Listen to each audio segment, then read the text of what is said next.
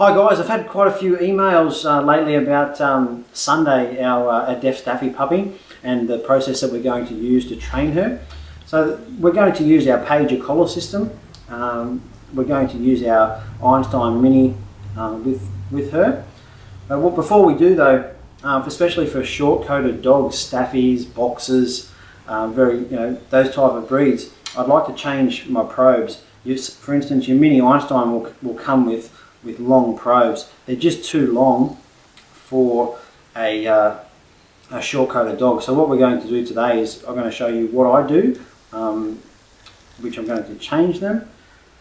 So I, I, went down to the hardware store and I picked up a, a dome nut from our local, a local hardware store for about 50 cents I believe it was.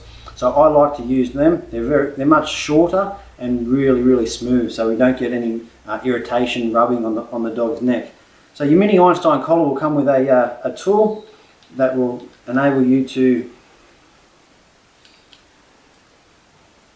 I don't even need the tool, enable you to um, undo the, the current probes on, on there. I'm just going to leave one on for the moment.